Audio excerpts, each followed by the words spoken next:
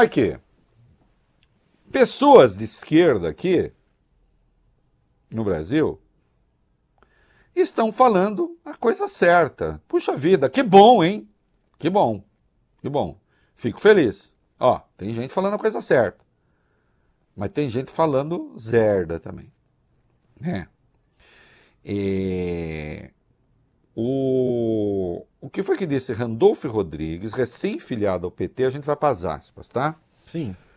Líder do Senado, líder do governo no Senado. O que foi que ele disse para as aspas sobre a eleição na Venezuela? Abre aspas, Reinaldo. Uma eleição em que os resultados não são passíveis de certificação e onde observadores internacionais foram vetados é uma eleição sem idoneidade. Para Randolph, o atual regime é autoritário e tanto Maduro quanto a oposição carecem de legitimidade. Eu falei que ele era líder do governo no Senado, mas está errado. Ele é líder do governo no Congresso, tá? Uhum. Não é líder do governo no Senado, é no Congresso. Líder do governo nas duas casas. É, Reginaldo Lopes, um dos vice-líderes do PT na Câmara, é, que costuma dizer coisas corretas, eu gosto dele, né?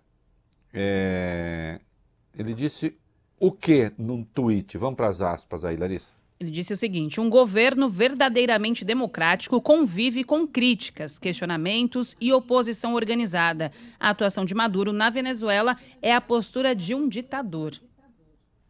Ah, muito bem.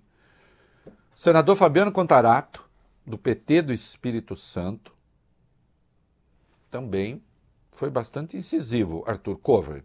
Vamos lá, o resultado, foi o que ele disse. O resultado das eleições venezuelanas não merecem reconhecimento da comunidade internacional enquanto as exigências mínimas de transparência não forem satisfatoriamente atendidas. E o Paulo Paim, um petista histórico, né? é... também se manifestou, né? Senador Paulo Paim. Vamos para as aspas, vamos lá. Disse: a situação na Venezuela é gravíssima e lamentável. Espero por dias melhores para o seu povo e para o país como um todo. Sem transparência no processo eleitoral, liberdade política e de expressão e respeito aos direitos humanos, não há democracia. E eu fico satisfeito que essas pessoas que têm um pensamento inequivocamente progressista, algumas delas petistas mais recentes, é o caso. Se bem que o, o, o, Randolph começou no PT, né? depois foi pessoal, mas o começo da militância no PT. Né? Mas são pessoas de credenciais inequivocamente progressistas. E acho que mais arejadas e percebem, inclusive, o potencial de desgaste interno que há nesse negócio.